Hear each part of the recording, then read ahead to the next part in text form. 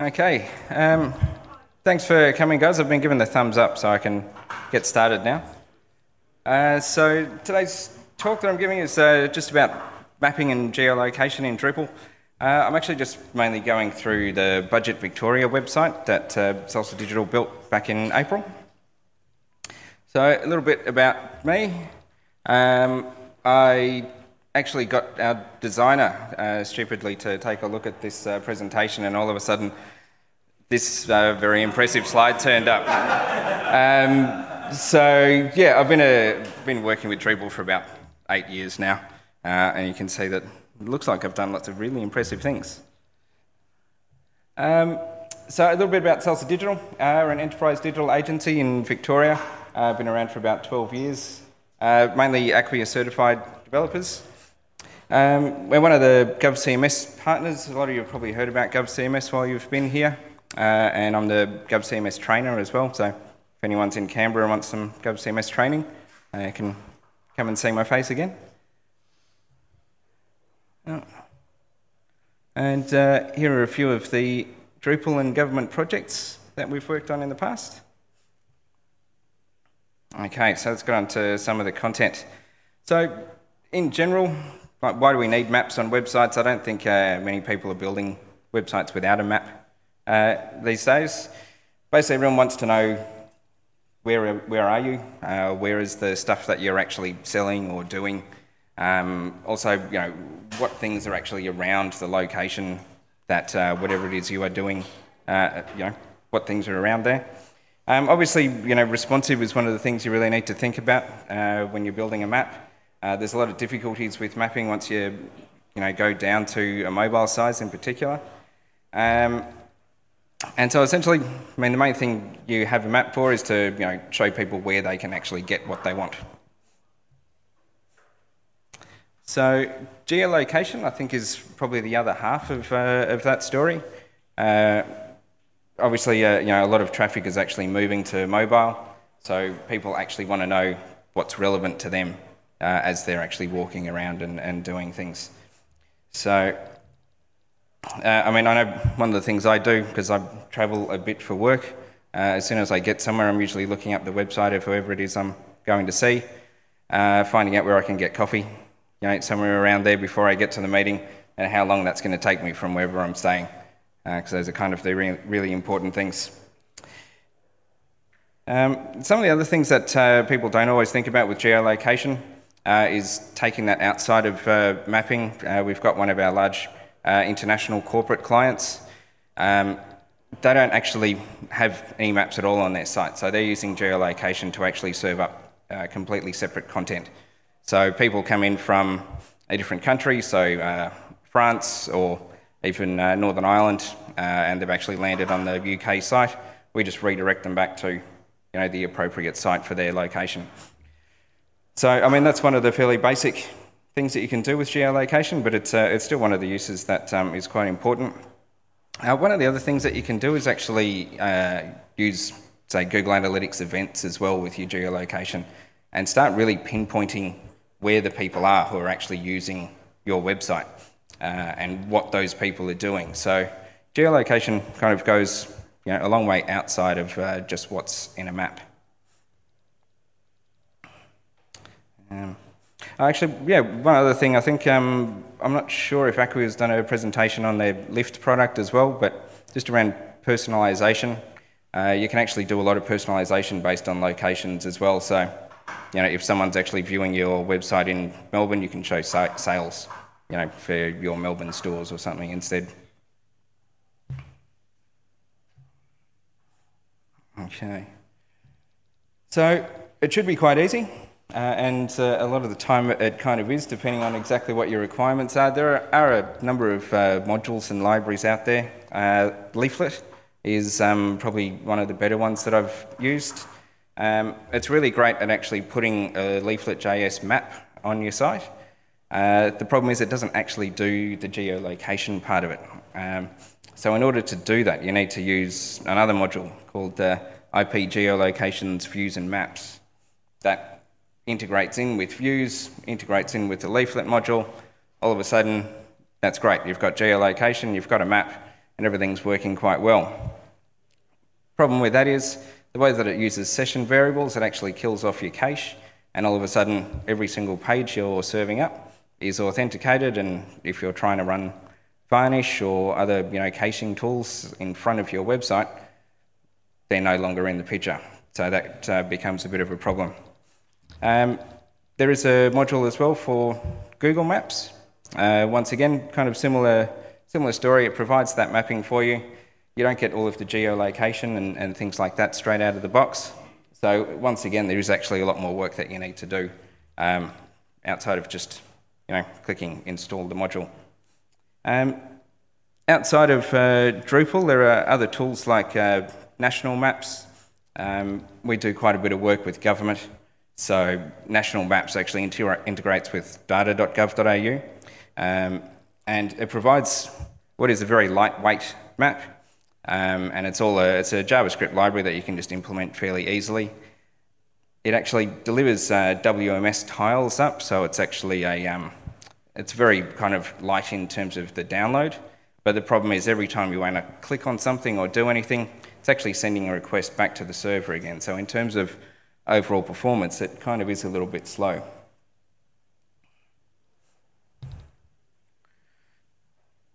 So some of the requirements we had uh, were to actually build uh, an interactive map uh, on the site.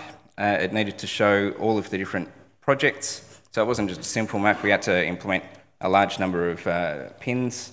Um, we actually had to use uh, clustering as well on those pins um, and show a number of different regions. Uh, so unfortunately, a lot of the modules that actually kind of come out of the out of the box with uh, Drupal weren't actually going to do what it was that we needed. Um, and another issue we were we were facing is we were using uh, GovCMS. Um, GovCMS is a great tool for government. One of the problems is you can't actually use any extra module code, so you can't install new modules. Uh, you don't have access to any custom code, so you really have to use what is kind of in the box. So I'm just going to show you a couple of uh, example sites of um, what we were trying to build. So regions.vic.gov.au uh, was actually the site that uh, we were being asked to model this new website off. And you can see that um, what we've ended up with is actually fairly close. Uh, the design is actually very similar. And uh, one of the main components of this site is the uh, Explore the Budget map.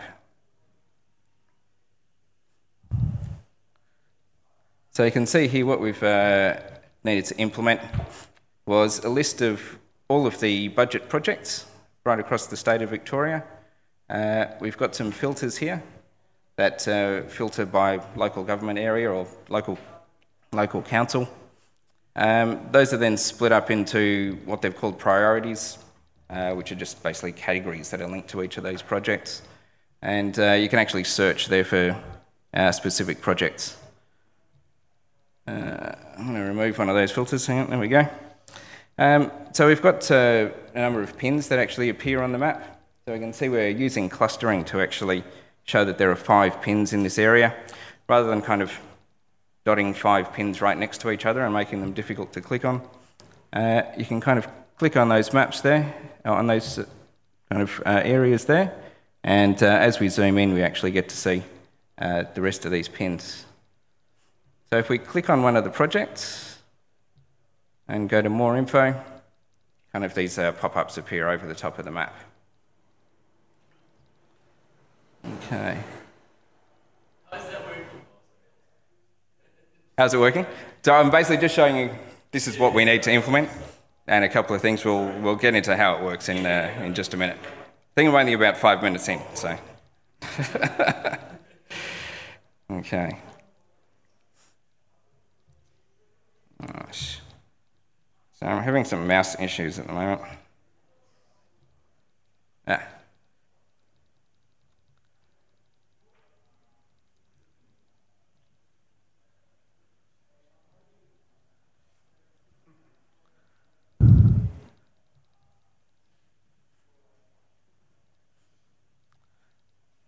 Just got some odd things happening with my mouse, sorry about that.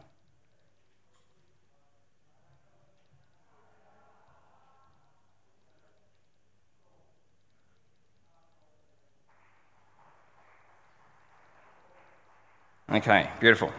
Back to, back to where I was. So, yeah, as I mentioned, we're using uh, GovCMS.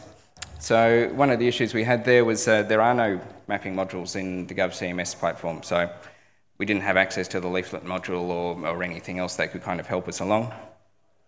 Uh, because there's no custom code, once again, we're kind of uh, a little bit uh, hamstrung with that. Uh, it was also a project with, you know, very tight timelines. Uh, I think we started off with about 12 weeks initially. Um, that kind of got shrunk down to uh, 10 weeks. Um, one of the problems we had was the federal government decided to bring the budget a week forward, which meant basically the uh, start date or yeah, the launch date for our project got brought a week forward as well. Um, what, one of the other issues we ended up facing was really large data files that we were going to have to present um, to people. Uh, so obviously you can't really have people downloading very large files. So these were some of the things that we needed to kind of overcome. Uh, and mainly that kind of affected uh, performance.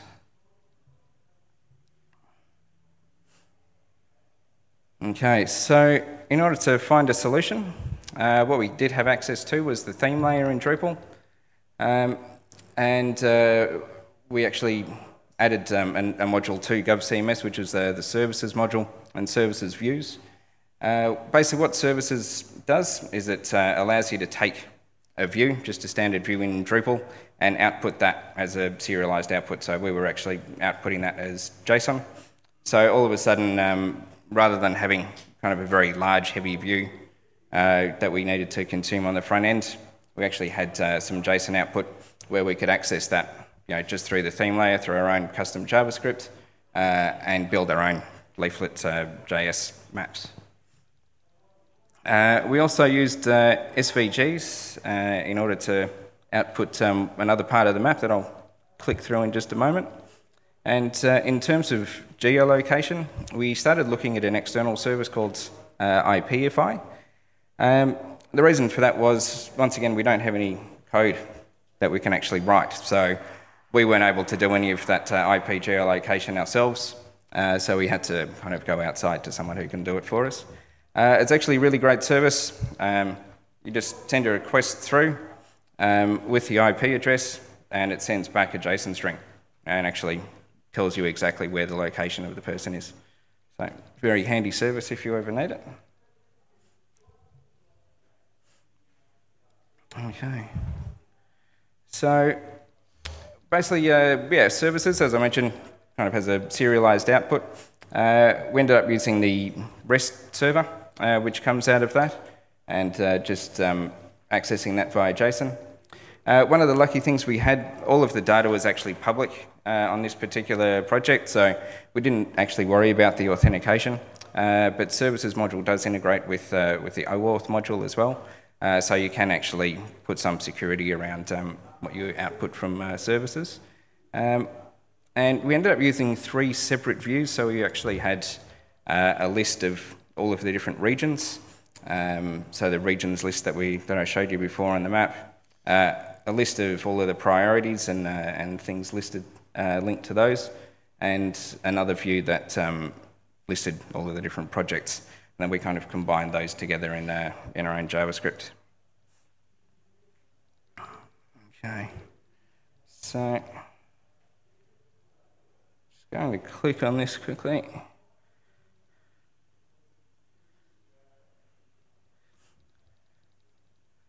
So I'll just show you a couple of things within, um, within the services module. It's actually really, really quick to set up. Uh, you basically just add in a name, uh, a machine name for this. Uh, I've said that I want this to be a REST server and uh, a path to my endpoint. And um, basically, that's most of your setup right there. In your server settings, I've gone through and said that basically I want this to be output as JSON. And under my resources, I basically said I want access to retrieve views. So essentially, within a, a number of clicks, they've actually got. Um, don't you have a question? Oh, just, okay. Um, yeah, so very quickly we've actually got the uh, output that we need.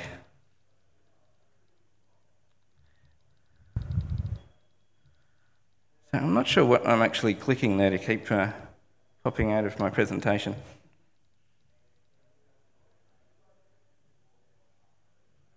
Okay. Cool. Yeah, so it gives me the speaker notes over here, but then... Oh, but then I can't see my notes. Yeah. okay. So um, here are some of the libraries that we, uh, that we used. Um, Leaflet.js, uh, it's a really proper, uh, you know, popular JavaScript library for uh, making maps. Um, really, really simple to use, and the tutorials and stuff are, fantastic if you want to actually uh, use that on any site that you're, that you're going to build. Uh, like I said, there is actually a Drupal module for Leaflet. It's in D7. The D8 port isn't working all that well as yet, but um, hopefully it'll be there some, sometime soon. Uh, we also use the marker cluster module, uh, so that's how we kind of created those uh, little, little clusters of pins. Um, we use the extra markers uh, library as well to actually uh, come up with our own custom markers. Uh, we needed to actually list all of the points in alphabetical order. Leaflet doesn't provide that functionality out of the box, but with extra markers we were actually able to, to add those letters in there. Um,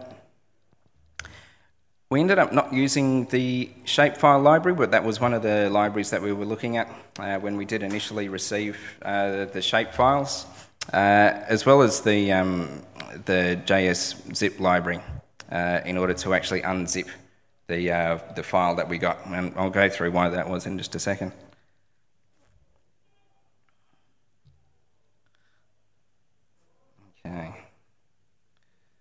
So I'm just going to pop onto the first part of the map, which was um, essentially a way to explore which council you actually belong to.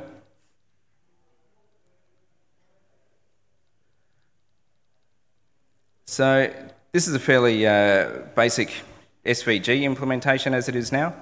Um, the initial uh, problem that we had was we received all of the uh, shapefile data very late in the process. And what we'd been planning for is essentially having just one single map in, um, in Leaflet. Uh, so when this part of the process came in, what we were initially doing is displaying a, a Leaflet.js map here, um, using very flat tiles without any real design behind them. Uh, the big problem we had was the size of the, of the shapefile. It meant that just to load up this page here, uh, for someone was going to be incredibly slow. So what we did, uh, this is actually about a week after the initial go live, was we took these files and um, used a program called QGIS uh, to actually reduce the complexity of these files. Uh, so to simplify geometry is what it's called in QGIS, uh, and then export all of these as, um, as SVGs, uh, which means that all of a sudden, what was initially actually a 27 meg download to uh, get the um, shapefile uh, came down to about 100k. So obviously that's a lot more reasonable if, uh, if someone's trying to look at this on any device, really.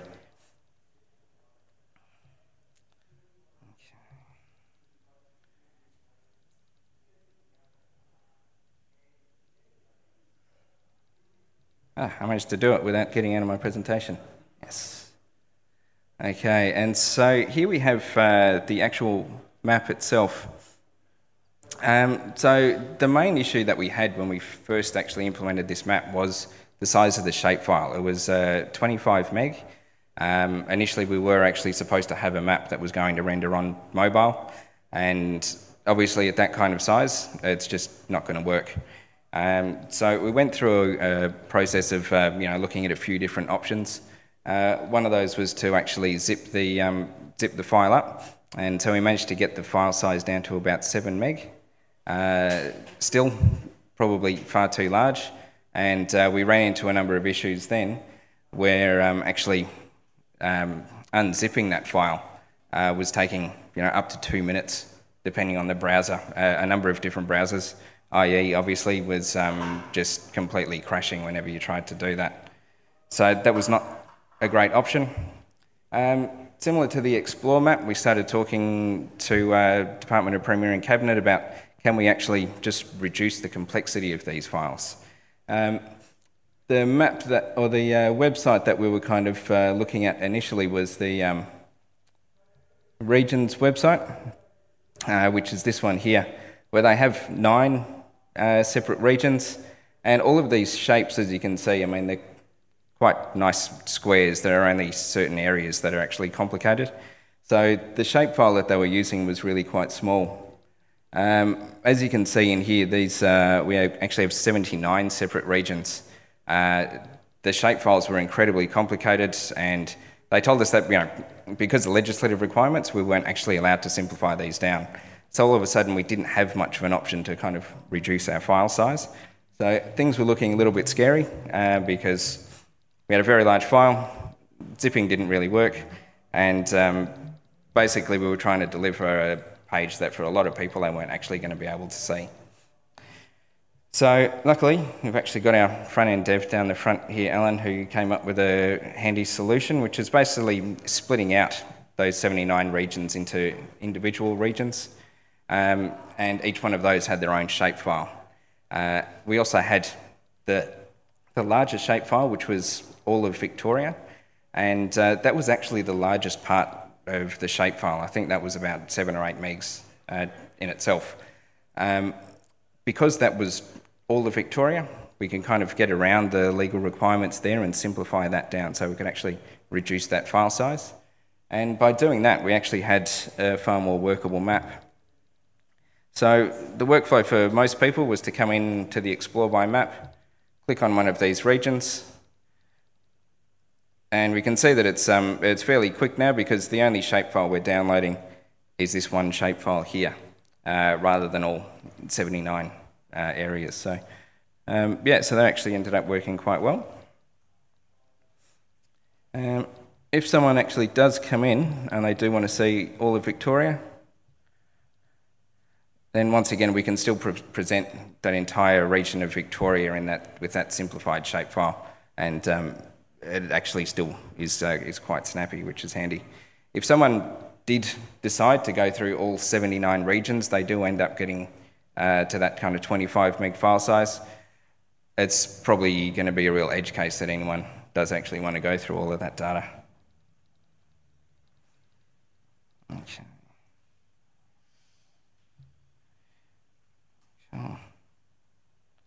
And Right, I think I've actually gone through all of that a lot quicker than I expected.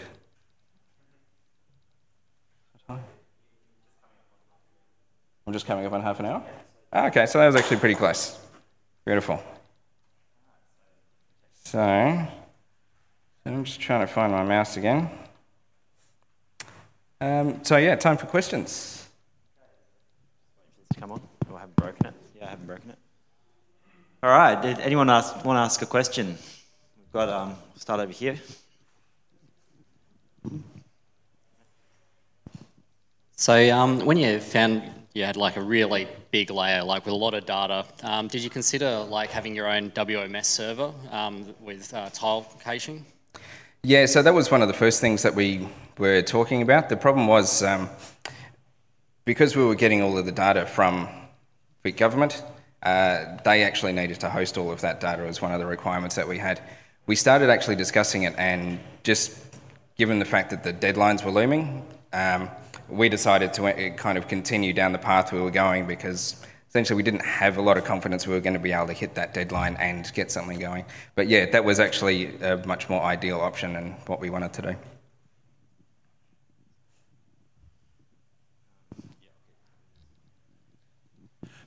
Did you ever consider maybe like running a Postgres SQL database just to handle, just to hold all the shape files and then output it as like GeoJSON in, into your leaflet map as a as another option? So, so then they're, they're just getting like you know a blob of JSON and essentially uh, out of, uh, and I know that Postgres tends to handle geometries pretty well? Actually, I'm just realising that I've said the wrong thing on uh, when we split out all of those files. We actually did convert all of that to GeoJSON, um, but in the end, we actually had those as file fields connected to the different nodes, and that was once again just given the timelines and what we had coming out of data, we needed to have something that was going to be a bit flexible. Uh, Postgres probably would have, yeah, might have been a good solution to that too. Yeah.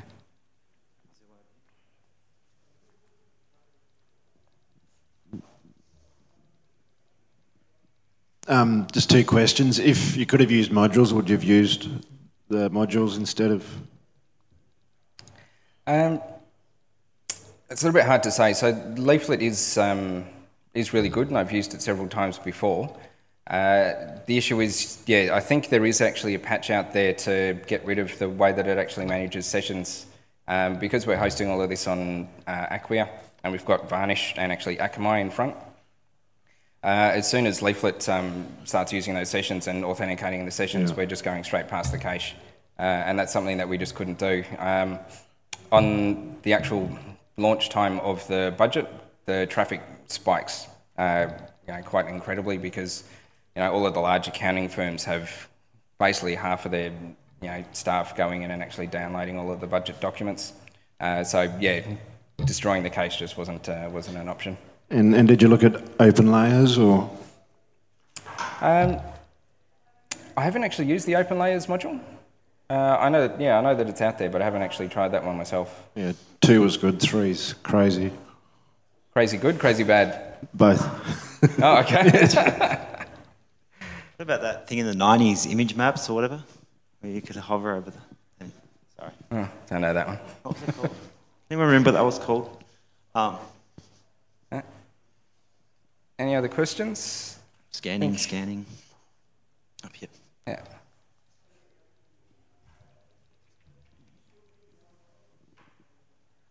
Hey, good. Thanks for the presentation. It's really good. Um, just had a question. As far as I understand, that page was just outputting pretty big um, dump of JSON. Yep. So what kind of caching strategies did you use to actually make it faster? Is it just views? It is just uh, just views and um, services views. Uh, so to be honest, we're probably relying a lot on Varnish and Akamai uh, in terms of caching, but uh, all of the views they get output, there's, um, they all get cached in the browser as well. So once you've actually loaded it up the first time, it is actually pretty quick. Um, and there's only uh, like a few hundred uh, projects. So the size of the JSON is actually quite small. Um, one of the things we were looking at initially, because uh, services and services views weren't in GovCMS, um, was something that we weren't overly happy with, was basically outputting your view, but um, using data attributes uh, you know, to actually add all of the extra data we needed. And although it's possible, it would have been pretty slow and we would have had to do a lot of thinking around how we were going to cache that and make it snappy. Um, and doing that on top of having the large data files and all of those things, it was starting to kind of make us sweat a little bit. And we were kind of, uh, as we actually got more and more of the data, um, things just started to get a little bit scarier, to be honest, because uh, for the first part of the project, we were kind of flying blind a little bit in terms of uh, knowing what we were going to have to work with. Um, so yeah, I mean, it's lucky that we had uh, services there to, uh, to actually use. Yeah. Um, one of the challenges, of course, of geolocation work is um, mobile and your experience in mobile. So could you perhaps touch on, you know, did you cater for mobile or optimize? Uh, did you change layouts? All that kind of thing? We ended up not being able to do mobile uh, on this particular project, which was a bit of a shame. Um, one of the major reasons was actually just around the design, and we didn't get a design that was actually approved uh, by the time we were ready to go live. Um, obviously, as you know, mo- mobile uh, maps can be quite tricky. If you just kind of dump one in the middle of the page as you're scrolling up, all of a sudden you hit the map, and then you're scrolling the map, and you can't actually get back to what you were trying to do, and it's it's quite painful. Um, I think one of the good solutions to that is um, apps like uh, you know Zomato and other places where you actually click on a map icon, and then you go into a full screen map, and you've got another little icon to flick back to a normal view. Uh, something like that kind of gets around those issues.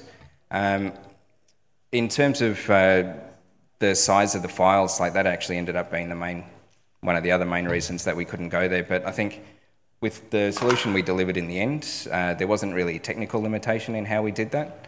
Um, also, in terms of the geolocation, we haven't actually implemented the geolocation in this solution at the end either. Uh, once again, we weren't delivering it on mobile, so it wasn't quite as relevant. But uh, we've actually used IPFI quite successfully on other projects. Um, Sorry, which one was that one? Uh, IPFI, IPIFY, I think, yeah.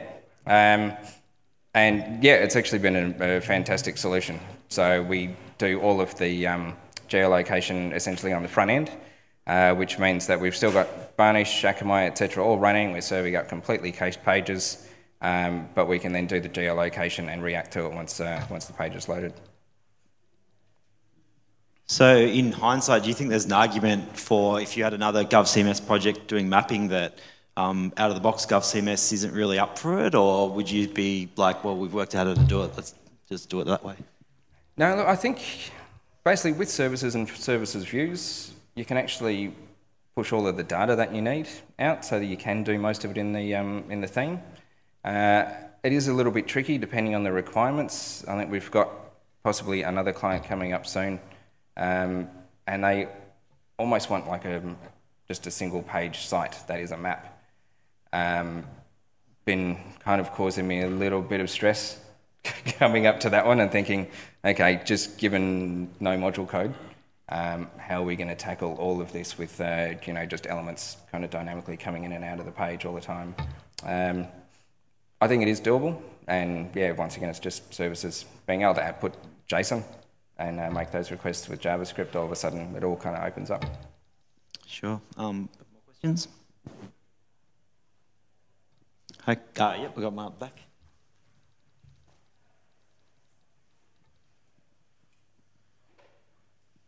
Uh, yes, thanks. Um, do you think it would make a difference uh, if you were to serve these uh, maps if if you didn't have it in the GeoJSON format from something like a GeoServer, like GeoNode, instead of straight out of Drupal? Uh, yeah, look, it probably would um, make a difference if we had access to something like that at the time. Uh, one of the things that we're looking at for the next mapping project we're doing is uh, national maps. Um, so I don't know if you've seen that. It's basically something that integrates with data.gov.au, uh, and you can immediately kind of just serve up any data from data.gov.au that has WMS or GeoJSON in it. Um, so that's actually a really good tool. What we'll be looking at isn't national maps itself, but uh, using TerriaJS, which is the JavaScript library that sits underneath it, and doing a custom implementation of that. So in that particular project, we are going to have access to a, um, to a GIS server, and all of a sudden, our options kind of start to broaden out a little bit. Thank you. Yeah. So I guess um, need to thank two people. Uh, first is the designer of the slideshow. Um, that's fantastic. Uh, and also Kurt. So please give him a round of applause.